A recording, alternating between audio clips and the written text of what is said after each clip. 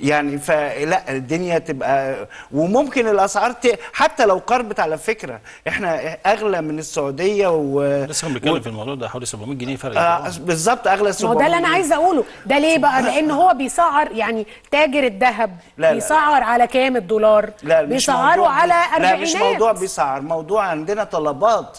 يعني اللي موجود غير كافي والطلبات بزيادة. لو ت- آه، فتحنا إيه، ويمكن الكلام ده أنا قلته قبل كده. يعني أنت المية مش موجودة. لو فتحنا المحبس شوية وفي كمية دهب دخلت السوق المحلي هتلاقي الأسعار تهدى. لكن لما تهدى الدهب مش هينزل على 2000 جنيه أو 2200 يعني لأن الدهب عالميا برضو عالي.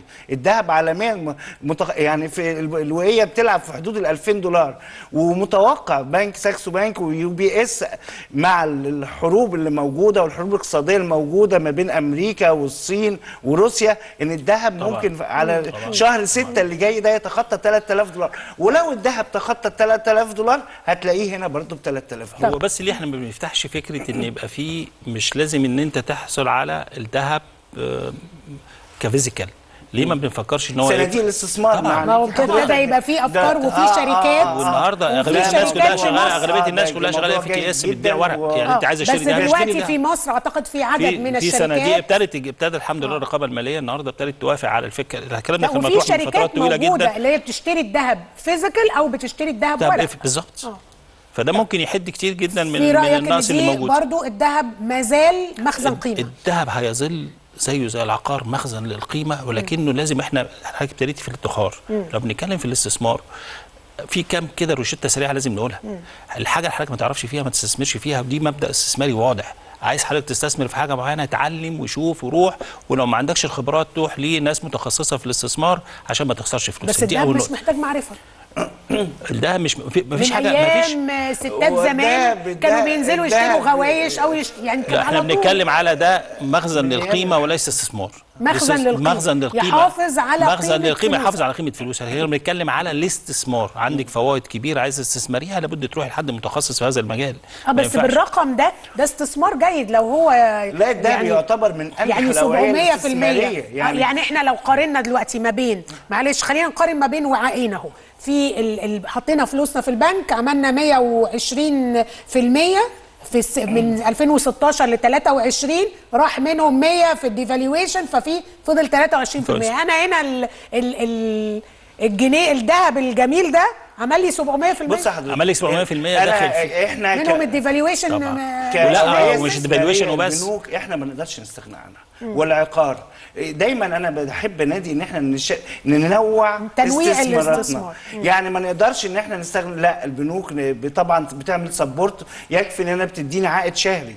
الذهب مش هيديني عائد شهري. وبعدين الذهب ممكن ليه قفزات قوية جدا جدا وساعات يفضل على نفس السعر طول العام. يعني من أول السنة الأخيرة ما, ما يتغيرش غير تغيرات هو ده اللي ده اللي. بتكلم عليه مفيش روشتة استثماريه أنا بقول الحق تصلح يعني أنا ما فيت for all بحبش- الكلام ده مش يعني- مظبوط يعني النهارده بتيجي حضرتك تقولي لي يجي بشوف ناس كتير جدا بتطلع تدي نصايح يقول لك اشتري ذهب طب أنت هتعرف ظروفي إيه؟ طب تعرف أنا النهارده سني كام محتاج الفلوس دي ولا مش محتاجها؟ عندي أولاد ما عنديش أولاد عندي دخل ثابت الفلوس دي أقدر أستغنى عنها مدة قد إيه؟ كل دي النهارده لما بيحصل portfolio manager بتروحي تقعدي معاه بيعرف الأول انت ظروفك إيه؟ وبناء على هذه الظروف بكيف لك ال- الوعاء الاستثماري. فإحنا لما اتكلمنا على الوعاء الاستثماري بتاع البنوك ده الوعاء اللي هو الخفيف جدا يعني ما فيهوش مشكلة. لكن في استثمارات أخرى تعمل أكتر من 120% طبعا في الجنيه المصري كتيرة جدا تعمل أكتر من الدهب، 120% البورصة النهارده لو أنت حضرتك عندك عندك آليات وبتعرفي شوية في البورصة أو بتروح لصناديق استثمار أكيد هتعمل أكتر من 120% لو حضرتك النهارده الذهب بس الذهب النهارده لما أجي أتكلم عليه ما ينفعش النهارده أتكلم على الذهب short term investment لازم النهارده بتكلم على long term. investment long term investments يعني يعني قد إيه استثمار طويل يعني الأمد. يعني قد إيه يا أستاذ ناجي يعني أنا مثلا لو حد مثلا ينزل يشتري ما أعرفش يعني هو minimum 5 years خمس سنين.